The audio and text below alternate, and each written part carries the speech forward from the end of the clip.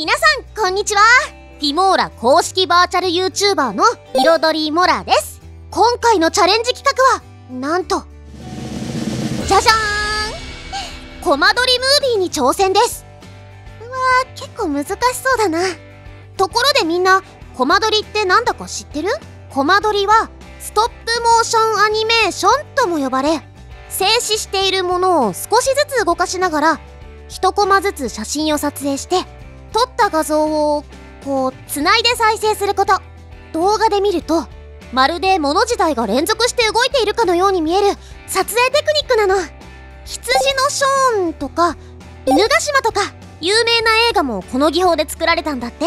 それじゃあ早速今回監督さんがどんな素材を用意してくれたのか見てみよう。えー、っと三脚スマートフォンイヤホン切り絵。あれちょっと待って。もしかして今回の挑戦って撮影から動画の仕上がりまで全部一人でやるってこと？しかもデジカメじゃなくてスマホで？うーオッケー。撮影もモラに任せて。では早速チャレンジスタート。うーんこの切り絵を動かしてコマ撮りアニメを作るなら。あそうだ。YouTube 動画のオープニングを作ってみよう。もうすぐクリスマスだからクリスマス風のオープニングにしよっと。クリスマスツリーサンタの帽子。あすっごくかわいい。次に画面上で文字とかイラストがどんな風に動くのか絵コンテを決めていくね。えー、っとあ今回はフィモーラの文字。F 君が他のメンバーを呼んでみんなでクリスマスを楽しむシーンを作ってみます。ブレを防ぐために撮影するときは三脚でスマホを固定してっと。スマホのシャッターボタンを押すとレンズがずれたり画面も微妙にブレてしまうのでイヤホンを使ってシャッターを押すのがコツ。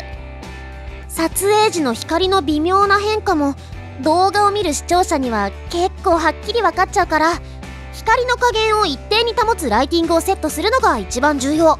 自然光はいつも変化していてコントロールが難しいからおすすめしません。よっしゃー。撮影の準備は万全。早速コマ撮りを始めよう。通常は1秒あたりに12ショットを撮るのがおすすめ。写真の数やフレームの計算方法を詳しく知りたい場合はフィモーラ動画編集のストップモーションのチュートリアルをチェックしてね。切り絵を少しずつ移動させながら撮影します。まずは F 君が左側から画面の中に飛び込んでくるシーン。ジャンプの動きも注意しながら F の切り絵を左から真ん中に少しずつ移動してイヤホンのプラスボタンを押して写真を撮るね。ここからはひたすら同じ操作の繰り返し。ここは集中力と忍耐が必要かな。こんな時モラは好きな音楽を聴きながら根気よくやってます。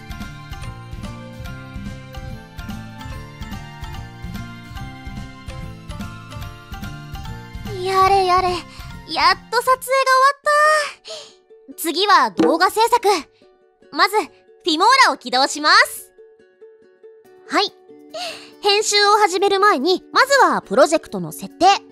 画面左上のファイルをクリックしてドロップダウンメニューからこのプロジェクト設定を選んでここのフレームレートを24に設定します。次に設定のメニューを開いて編集のところで写真のデフォルト再生時間を0.02に設定。これで1枚の写真が2フレームごとに表示されるの。いよいよさっき苦労して撮った写真をタイムラインに一気に入れます。とレンダリングしてプレビューしてみると。おおこれでもう出来上がったんじゃない？すごい。ねみんなも切り絵アニメーションを使ってシンプルで面白いオープニングビデオを作ってみない？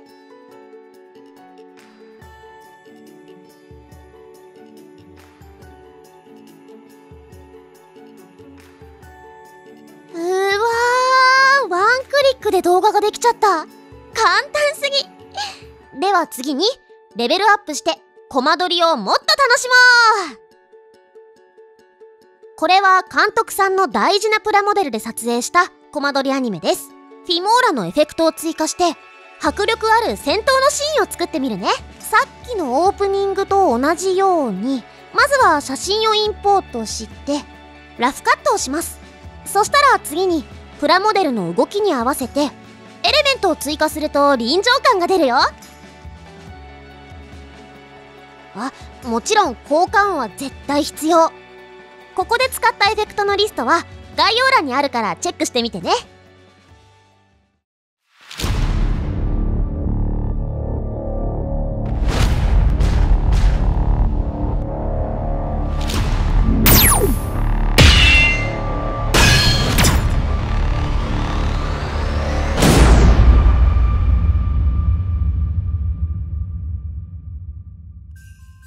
これで大興奮の戦闘ムービーが出来上がりです。今回のチャレンジは大成功だね。今年のクリスマスシーズンもすぐそこ。コマ撮りアニメテクを使ったサプライズ告白ムービーを好きな人にプレゼントするのもいいんじゃない？今回の動画はどうだったかな？みんなも手持ちのスマホでコマ撮りアニメテクに挑戦してみてね。できたらぜひコメント欄でシェアしてね。いいねボタンチャンネル登録もぜひよろしくお願いします。それじゃまたね